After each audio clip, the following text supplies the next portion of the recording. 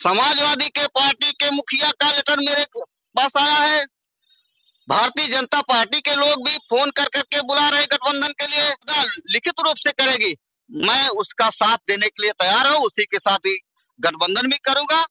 नमस्कार, आप देख रहे हैं खेल नीति और आज हम आए हैं एक ऐसी जगह पे जहाँ पे गरीब समाज पार्टी का मीटिंग हो रहा है और वहीं पे जो राष्ट्रीय अध्यक्ष आए हुए हैं इस पार्टी के, ये जगह है जलालपुर। और आइए राष्ट्रीय अध्यक्ष हैं गरीब समाज पार्टी के उनसे बातें करते हैं। क्या उद्देश्य है पार्टी का?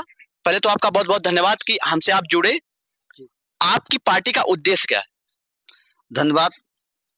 देखिए हमारे पार्टी का जो उद्देश्य है हमारी सबसे पहले हम ये कहना चाहेंगे कि हमारी पार्टी का जो जो विस्तार हुआ है पार्टी का मिशन ही कुछ अलग है।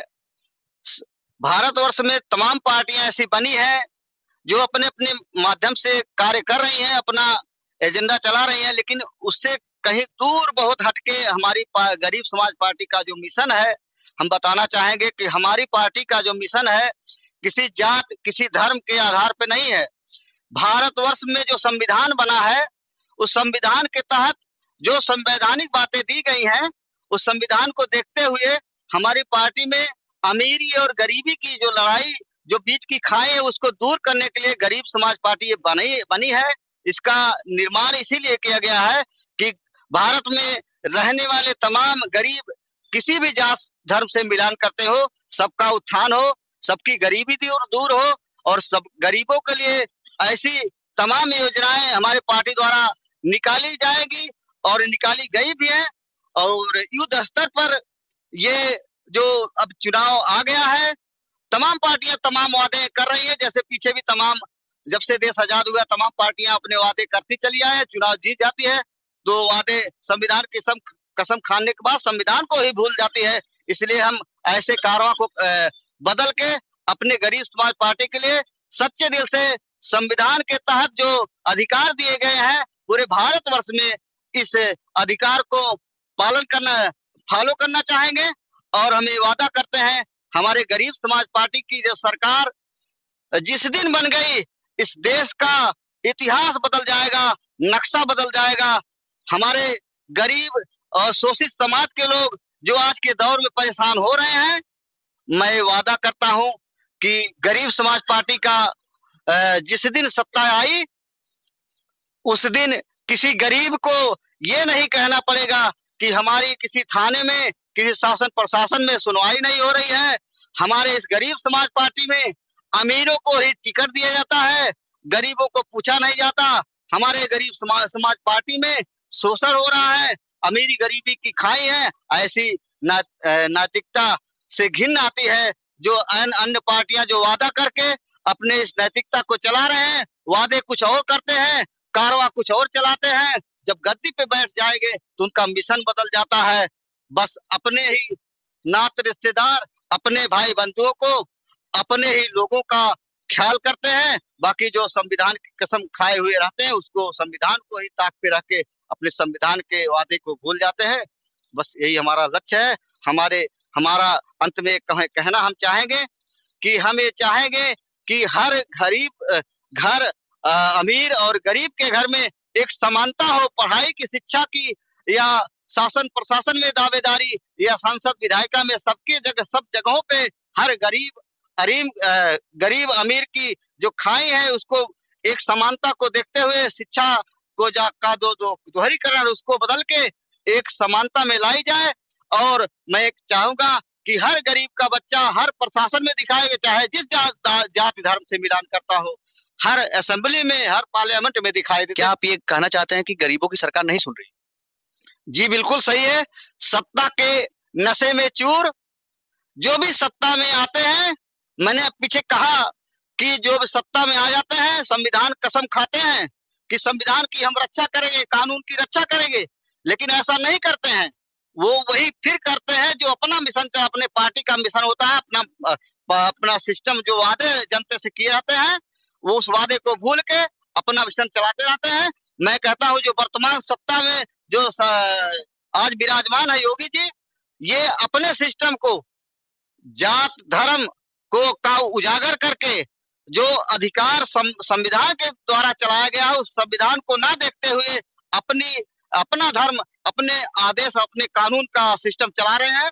और यही इनकी, इस ऐसी पार्टियों की जो सत्ता में आए हुए हैं आगे भी देखिए अगर कोई ऐसी स्तरीय विचारधारा के तहत की जो पार्टी आएगी मेरे ख्याल से अभी तो उनका समय आया नहीं लेकिन आगे जो सत्ता जिस सत्ता की सरकार बनेगी उस सत्ता को उसकी नीतियों को पढ़िए। किस पार्टी का आप लोगों ने जनाधार नहीं जाना किस पार्टी का परिणाम आप लोगों ने जा, नहीं जाना? बस यही हमारी पार्टी रह गई है। हमारी पार्टी अभी रूलिंग में नहीं आई है। मैं वादा करता हूँ आप लोग के लिए जो मिशन में चलाया हूँ इस मिशन का साथ देने के लिए आप इस पार्टी का सदस्य बनिए, इस पार्टी का साथ और सहयोग दीजिए। मैं वादा करता हूँ, ऐसे ऐसे सिस्टम, ये भ्रष्टाचार भरी नीतियों वाले पार्टी को उखाड़ फेंकने में हमारे गरीब समाज के लोग अहम भूमिका निभाएँगे। पिछले लोकसभा चुनाव में आपने कांग्रेस से गठबंधन किया था। इस बारी आप किससे गठबंधन कर रहे हैं, जो विधानसभा का चुनाव उत्तर प्रदेश में? देखिए हमारी इस विचारधारा को देखते हुए हम किसी के पास नहीं गए। मैं ये दावा करता हूँ, समाजवादी के पार्टी के मुखिया का लेटर मेरे पास आया है। भारतीय जनता पार्टी के लोग भी फ़ोन कर करके बुला रहे गठबंधन के लिए। और इससे पहले पूर्व में बहुजन समाज पार्टी के पदाधिकारी लोग हमारे पास फ़ोन कर करके गठबंधन के लिए बुलाए। लेकिन हमें ये देखना है हम तीनों पार्टियों का शासन, सत्ता का जो है, उपयोग देख चुके हैं। हमारा दिल किसी के पास नहीं जा रहा है। मैं ये वादा करता हूँ, जो सच्चे निष्ठावान और सच्चे दिल से अपनी पार्टी का सही रूप, संवैधानिक भारतवर्ष का जो संविधान है, जो भारतवर्ष की नीति जो देश, जिस मिशन से देश आज़ाद हुआ था, उस मिशन को चलाने में जो भी पार्टियाँ अच्छे तरीके से, पूरी ईमानदारी से सामने आएगी और वादा लिखित रूप से करेगी। मैं उसका साथ देने के लिए तैयार हूँ, उसी के साथ ही गठबंधन भी करूँगा, चाहे जो भी पार्टियाँ हो। मतलब आप ये कह रहे हैं कि अगर आपकी बातें अगर पार्टियाँ मानती हैं, चाहे बीजेपी हो, चाहे कांग्रेस हो या सपा तो आप उसका समर्थन करेंगे। जी, बिल्कुल। मैं पहले भी कहा, अभी कह रहा हूँ, जो पार्टियाँ सही रूप से संविधान की जो कसम खाते हैं, जो संवैधानिक बातें हैं, संविधान के तहत पूरा देश चल रहा है। संविधान हमारे लिए नहीं है, गरीब के लिए नहीं है, अमीर के लिए संविधान की ज़रूरत हर धर्म को पड़ती है, चाहे कुरान हो रामायण हो, गीता हो, बाइबिल हो, संविधान की सबको ज़रूरत है। मैं संविधान की रक्षा सबसे पहले करना चाहूँगा। संविधान की किताब जिस दिन गायब हो गई, उस दिन सारे धर्म गायब हो जाएँगे, सारे मनुष्य जो मानव समाज में कानून बने हुए हैं, वो भी गायब हो जाएँगे। संविधान की रक्षा भारत में रहने वाले सारे नागरिक की है और सारे नागरिक को संविधान की रक्षा करनी होगी। जब संविधान सुरक्षित है तो आपकी किताब सुरक्षित है आपकी बहन बेटी सुरक्षित है आपका आपका बेटा सुरक्षित है आपका मिशन सुरक्षित है आप हर समाज में सुरक्षित रहेंगे।